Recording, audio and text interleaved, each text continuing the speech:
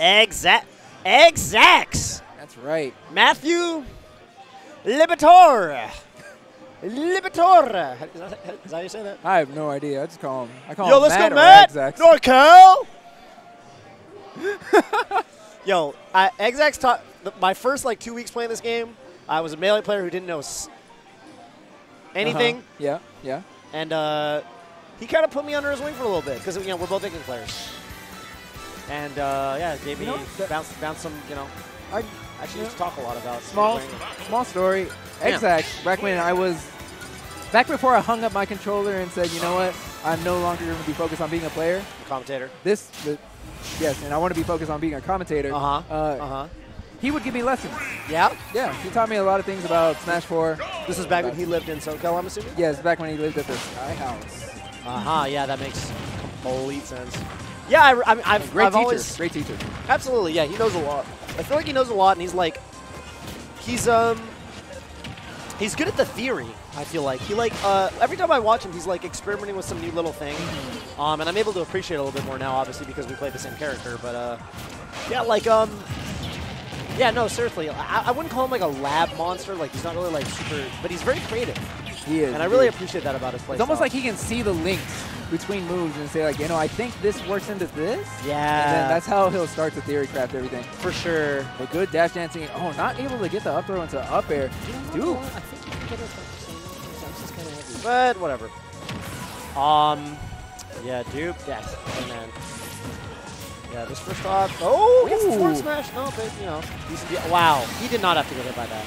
I don't, yeah, I'm pretty sure he could have just neutral air dodge and then up after. Yeah, yeah, there's a lot of ways to get around that. Okay. Uh, probably should have pummeled him a little bit. Probably should have. I mean, you can get so many pummels at 150. Then it might have killed. Samus's forwarder with like actually a deceptively huge hitbox in this game. Was he going for a pivot grab there? I think that was a, that might have been snapback. Might have been snapback. Yeah. I'm gonna blame snapback. Well, uh, you know, you can see Nesmod God with top-notch controllers right outside that door, Xzax, when you're done with the set, and he will get that fixed right up for you. Okay, throwing out the roller, but you know what? DOOP is ready for the roller. He's staying- staying in the air quite a bit. Yeah. Unless Xzax gets within a certain distance of him, that's when he's gonna be grounded. Right. Okay, okay, catching him coming off the ledge. There's the simple back air. He's doing a decent job right now, keeping it, uh, you know, keeping it relatively close. Okay, here we go. Up throw up air. We're gonna get some damage off this. Even Looks getting like- the platform extension. Yeah, you saw he went for actually descending up air, which is like kind of creative stuff because, you know, theoretically you could land, get the single hit up air, maybe go for some like janky follow-ups. Not a true combo, but, you know, it's slick, right? Right, right. Getting the double back air right there. Mhm. Now, DOOP landing back on the Oh. ground. And this is definitely up air. Yeah, that's like the, the thing about Inkling's up throw up air is like the heavier the opponent is, like the wider the kill window ranges. is. Oh, So like against a character like Samus, man, it's like it's very, very easy. It's like there's like a 20% window at least. Wow, that's actually really big. That's huge. Yeah, it's it's super important. It's, uh, okay, yeah, and, and, you know, Xzax kind of running away with it at this point. Like, you know, he had struggled to take that first stock, but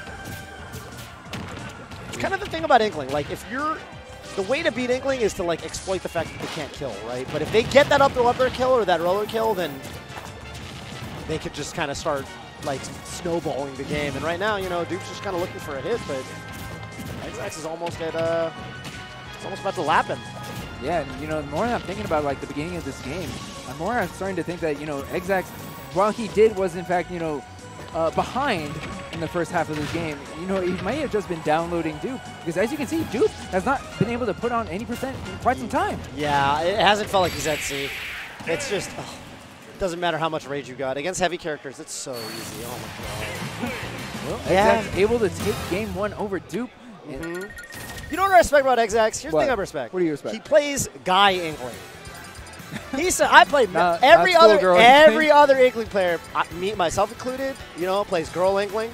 You know, because like I don't know what it is. It just it just feels right. Yeah, but I feel yeah. like Xzax is a male Inkling main till the day he dies. And what's more, he plays light blue Inkling who dresses exactly like Mutes.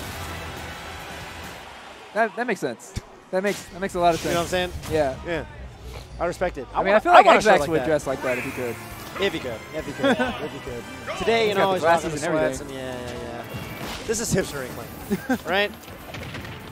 Okay, well, Oh, he went for the jab extension off the, off the, uh, yeah, he's going to be able to up air lip, land on the top platform. Now, how do you feel about this stage select from DOOP?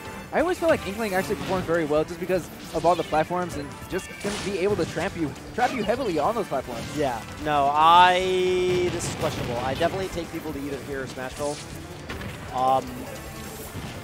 Yeah, this is. I, I don't know. I, yeah, okay. There's there's the aspect to it where like yes, the, the side platforms do allow you some opportunity to kind of hide under them. If you're a projectile character, you can like kind of like you know it's hard to approach people that are under a platform, right? In right, general, right, right. Yeah, you have that ceiling. You have that ceiling, but at the same time, man, the combos are so good for Inkling on this stage. They really are. So. Wow. Okay, well, using this charge shot, but you know what, that actually worked out pretty well for DOOP. It didn't exactly hit Xzax, but it put him in enough shield stun to make him, uh, allow him to recover. That's right, that's right. Exactly, they're missing the double jump on the up throw up air, but he can exploit the recovery here. Oh, whiffing the back air, and that's where you need to land. That definitely would have been the first stock. The back throw, and okay, let's try it once again. Yep.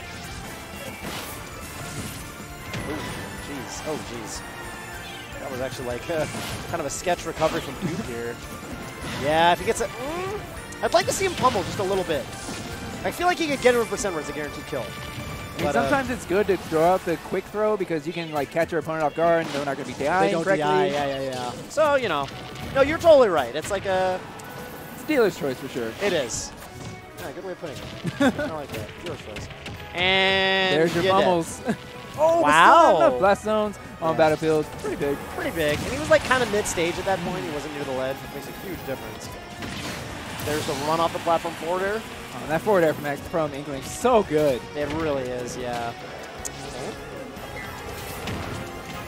Oh, I almost I don't see that happen that much where you get that uh what do they call that? Like trip state from No, what's he No, doing? what where are was you going? that? DOOP, where are you going? So unfortunate. I don't feel like DOOP was ready for that ledge trap. Ledge jump. Yeah, I don't it's kind of kind of strange.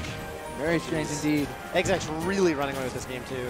You know what the crazy part is? He hasn't even thrown on any new rollers. Like uh, the roller hasn't even been like a huge part of his strategy. That's true. We saw it a little bit in game one, but I think like at this point, he knows what DOOP is having trouble with. Yeah. And he's just like, you know, Oh. putting him in the same position over and over and over. Right. There's your roller, putting a little bit of ink on the ground. Mm-hmm. Okay. Trying to, yep, covering some options with the splat bomb. A lot of damage off the rapid jab. Does I don't think he has a second jump. Yeah, he didn't. Yep.